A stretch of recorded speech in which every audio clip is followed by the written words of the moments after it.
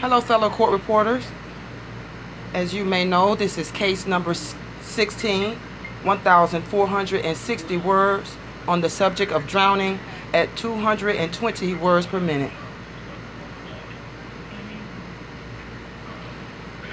Ready? Let's write. Question May, how old are you? Answer 18. Question on June 1st, will you tell the jury where you were? Answer, I was at this girl's summer camp with Marilyn and a bunch of girls that were with me. Question, when did you arrive at the camp? Answer, I think it was the 28th of June, about 11 o'clock. Question, were there, was there a group of girls arriving at that time? Answer, we all came together. We were all on the train. We met at the station. Question, what did you do when you arrived at the camp? Answer, we were told to get together under a tree, and then they gave us our instructions. Question, were you still in your city clothes? Answer, yes, we were. Question, do you recall the first time that you met Marilyn? Answer, yes, we were assigned to a group with a counselor. 10 to 12 girls were assigned to a counselor. So we said hi, and we spoke together about who we would like to room with because two girls were in a room. Question, was that the first time you met Marilyn, the day of your arrival? Answer, yes, it was. Question, you, you say that Marilyn was one of those girls assigned to your group. Is that right? Answer, yes, she was. Question, about how old was Marilyn? Answer, she was 18. Question, were all the girls who had selected their partners assigned to room in the same cabin? Answer, yes, they were. Question, I show you a photograph and ask whether that is a view of the cabin and the casino and the beach. Answer, yes, it is. Question, is this photograph shown here on this postcard a fair representation of the side of the cabin and the beach as of that particular time? Answer, it is, but it does not show the whole thing. Question, but it shows the side. Is that right? Answer, yes, it does. Question, I show you exhibit 2 and ask whether or not there is a ladder to the platform shown in that photograph from the water? Answer, I don't see the ladder, but I know where it should be. Question, the cabin that you were assigned to, what was that known as? Answer, the casino or the dining room. Question, how many feet did the casino extend into the water, say at high tide? Answer, I would say about 25 feet. Question, is there a walk beside the casino jutting out into the water? Answer, yes, there is. Question, was there anything beyond the walk extending out into the water? Answer, there were rocks extending out. Question, this accident happened about 4 o'clock in the afternoon, didn't it? Answer, yes. Question about when before that did the group meet? Answer, right after we had a big pillow fight. Question, was there a council present at that time? Answer, well, no, she came in later on. Question, will you tell us what she said? Answer, she asked us what we would like to do.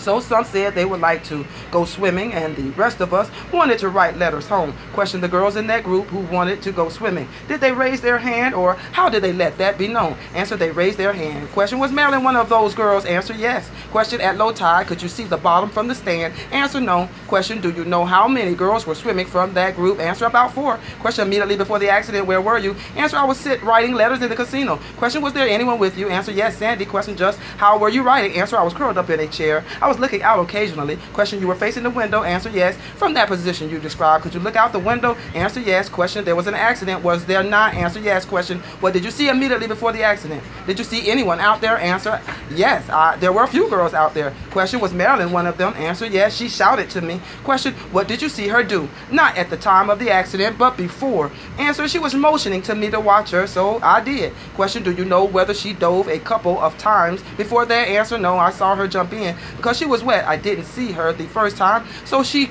called me the second time. Question you, she asked you to watch her dive. Is that right? Answer yes. Question, do you remember what she said? Answer, hey, look, May, I'm diving. Watch me. I was in the middle of my letter, so I just looked down, and before I knew it, everybody was screaming. Question, when you looked up, she was not on the platform, was she? Answer, that is right. Question, you say someone was screaming. Is that right? Answer, yes. Question, those people who were screaming, were they in the water or on the platform? Do you know? Answer, the girls who were screaming were on the platform. Question, were they counselors or were they girls who had come to the camp. Let us call them campers. Answer, they were campers. There were no counselors at all on the boardwalk. Question, what did you do when you heard these teenagers screaming?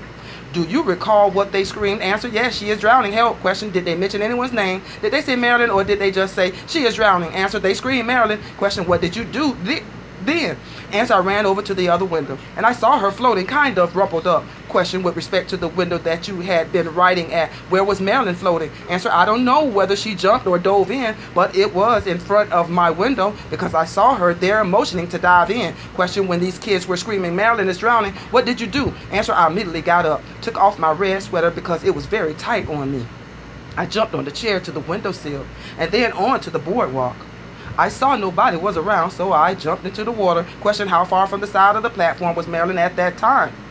How, how far out into the water? Answer, a little further than this dash, about 10 feet away because I half swam and half ran. Question, what were you doing? Taking steps and walking? Answer, yes. Question, you are indicating the motion of a breaststroke. And question, Yes, I was too excited to swim. I just ran and swam. Question, were there any counselors around at that time? Answer, no, because I was screaming and nobody came to help except the campers, my girlfriend Sandy, and another girl. Question, when you got to Marilyn, what did she do? Answer, at first when I went in, she was motionless. And then when I began to grab hold of her, she started to struggle against me. So I smacked her.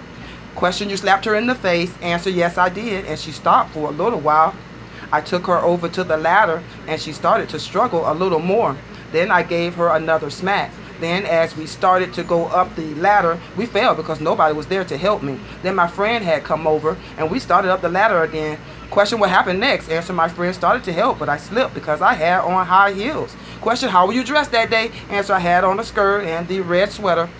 I had a wristwatch and my girlfriend's shoes. Question, what do you mean by her shoes? Answer, you know, these beach shoes, they wear colored. Question, wedges. Answer, sort of a wedge, sort of a college heel, and a fancy top, a braided top, sort of a beach shoe. Question, was it open or lace? Answer, open heels, just a little piece covering the back. Question, you had borrowed her shoes? Answer, yes, I did, my watch, and an ankle bracelet. Question, did you dive in with all this on except the sweater? Answer, no, not exactly. Question, do you recall how deep the water was? Do you remember that? Answer, yes, it was. I should say chest high. Question, after both you and Marilyn fell, did you start going up the ladder again? Answer, yes, I did. Question, you say Sandy was there. Was there, was she there to help you the second time? Answer, yes, she was on her stomach trying to grab us. Question, did you see anyone coming then? Answer, then I saw our counselor. She was taking off her jewelry. Question, taking off her what? Answer, she was taking off her watch, her whistle, and her shoes. Then I said, why don't you help me? She said, I have to take my things off. Then I said, then she said, May, do you need any help?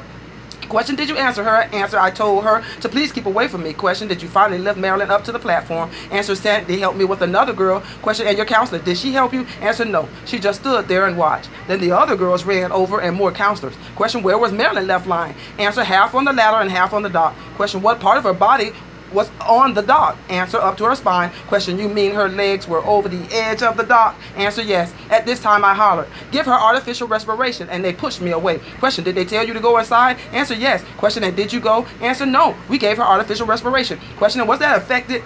Was it effective? Answer, no, it was not.